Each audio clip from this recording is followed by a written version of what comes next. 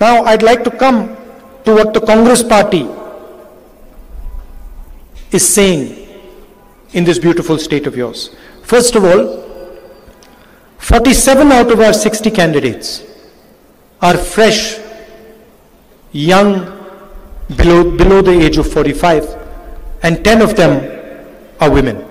And it is our aim, it is our aim to connect to the aspirations of the young voter, to show a youthful, youthful Congress party, but also a Congress party that has experience. And we are talking about providing Meghalaya with an inclusive vision that will take all members of Meghalaya's society forward together. There are five major commitments that we're making, and I'd like to mention them to you. The first is focused on empowering women, and what we are proposing is for single mothers below the poverty line, we will give 3,000 rupees every month, 36,000 rupees annually.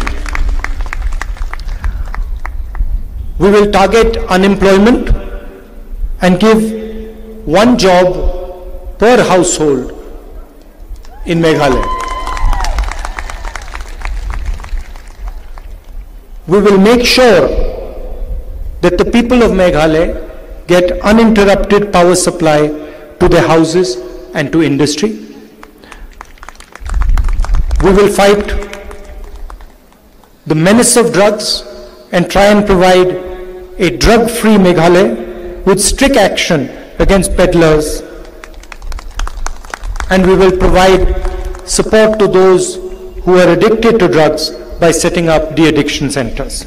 And finally, we will give you a corruption-free Meghalaya with total transparency in all government transactions by bringing in a new law.